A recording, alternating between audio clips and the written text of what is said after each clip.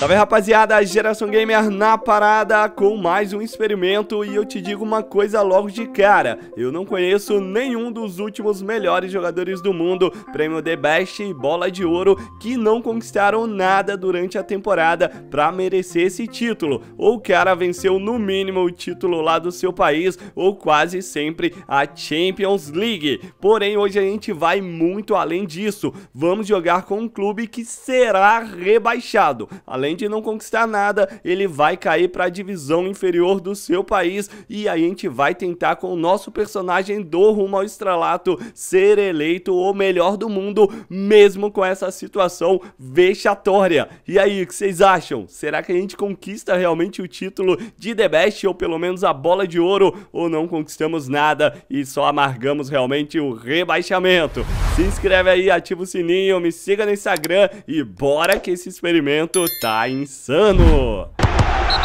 E é isso, ó, já estamos aqui na segunda divisão, a Skybet, a segunda divisão inglesa, e vamos pegar um dos piores times, o Rotterdam United, inclusive eu fiz uma Master League com eles no PES 2019, há 3, 4 anos atrás, e foi insano demais. Mas seguinte, vamos colocar eles aí na Premier League, porque a gente vai ser rebaixado com certeza, com apenas uma estrela. Mas com 87 ele nunca vai ganhar, o jogo não vai deixar, a gente simplesmente vai adiantar tentar revoluir o garoto. Então tá aí, ó, Neymar Júnior não tá nem nos pés do Vini, o Vini tá com 99, faltam 10 pontos pra gente chegar no 109, né, que é o máximo, estamos próximos dos melhores do mundo, inclusive um pouco acima em over. Então tá aí, ó, Vini Júnior se apresentando ao Rotterdam United. No calendário já tem o um anúncio do melhor, né, do mundo, Bola de Ouro, aliás, né, o prêmio The Best é só mais na frente, porém esse primeiro anúncio anúncio, o Vini não vai estar tá na lista, né? Porque ele só vai ter jogado um jogo. Como eu disse, se liga, o Neymar que levou o prêmio de bola de ouro, o Vini ficou longe. De Bruyne em segundo e o goleiro Neuer em terceiro. Agora sim vai começar a valer, né? Outro detalhe que mesmo jogando no pior time da Premier League, o Neymar, aliás, o Vini Júnior tá convocado para a seleção, cara. Ele vai jogar e o Brasil venceu por 1 a 0 e se liga, o Vini não fez nada, né? Mas teve boa nota, 6.2. Dado curioso, ó, que é o pior time, mas eles estão vencendo muito graças ao overall do Vini. 2 a 0 para cima do Millwall na estreia da FA Cup. Sexta rodada da Premier League e o Rotterdam United chega agora à lanterna. E a gente tem um ponto, cinco derrotas e um empate. O Brasil vai arrebentando nas eliminatórias e o Vini mais ainda. Pelo menos no Brasil ele joga, né? E o uniforme novo ali tá lindo. Seis jogos, cinco 5 gols, 3 assistências. E tá aí, rapaziada, olha só o prêmio The Best Vini Júnior levou. Ele ganhou, mano. Ele ganhou o prêmio The Best. Mas agora falta a bola de ouro que é anunciada no início da próxima temporada. Então bora chegar no final e fazer uma partida com ele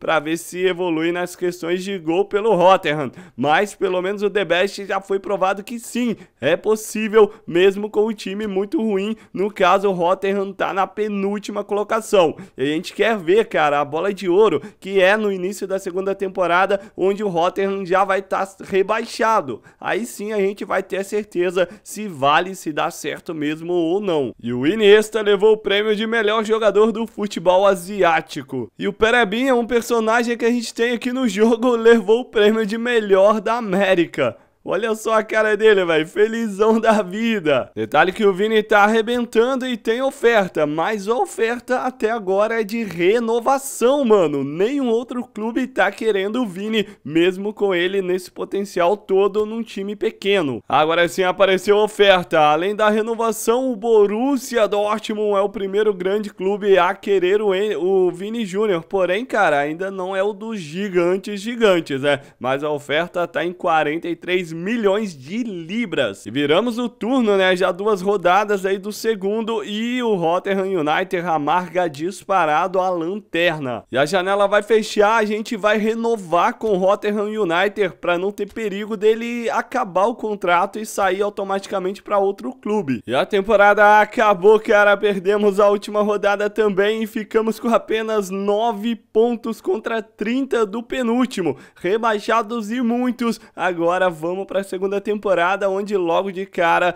depois do primeiro jogo, o anúncio do melhor do mundo, bola de ouro. E um detalhe, ó, na seleção aí dos melhores da Premier League, o Vini Júnior não aparece, tá? O Haaland e o Cristiano lá no ataque. E mesmo com a nossa renovação, tá aparecendo uma oferta bizonha do Freiburg. Cara, mano, que sem noção. Apareceu mais uma oferta agora da Juve, o primeiro gigante ao lado do Borussia, que é quase gigantão, né? A Juve tem uma história maior e tá com 48 milhões de libras de oferta, mas a gente já renovou com Rotterdam. Se liga como foi a temporada do Vini, 34 jogos, 6.1 de média, 5 gols pelo Rotterdam e, cara, muito mais jogo por eles, né? Mas na seleção brasileira ele marcou 9 porque os companheiros ajudam, né? Tem um elenco fortíssimo. Outra oferta, hein, cara? Agora do Colônia do futebol é, alemão. Bem curioso, né? Várias ofertas aí do futebol alemão. Além do Colônia, tem o Freiburg e o Borussia Dortmund. Só a Juve fora da Alemanha que mandou oferta. Vamos lá então para a segunda divisão, a Skybet. Caímos aí na lanterninha e temos o primeiro jogo antes do anúncio do melhor jogador do mundo. E começou o desespero dos outros times. Outra oferta, cara, muito louco isso, muito insano. Mais um time alemão, Borussia Mönchengladbach, mandou a oferta. Vini Júnior levou o Brasil para a Copa 44 pontos, a liderança das eliminatórias da América do Sul. E que absurdo de eliminatórias ele fez, cara. 18 jogos, 15 gols e 7 assistências. Mano, bateu recordes e mais recordes. Eu acredito que isso pode ajudar ele demais. Agora, olha só, vai começar a segunda divisão e temos o primeiro jogo antes do anúncio do Bola de Ouro, que é a nossa grande expectativa. Vamos para esse jogo então, cara, e ver como o Vini joga. A gente vai tentar jogar bem com ele para ver se mesmo na Série B ele consegue o acesso. Ó, acesso não, a bola de ouro. Ele tá em campo, ó, e chegou a 101 de over, cara.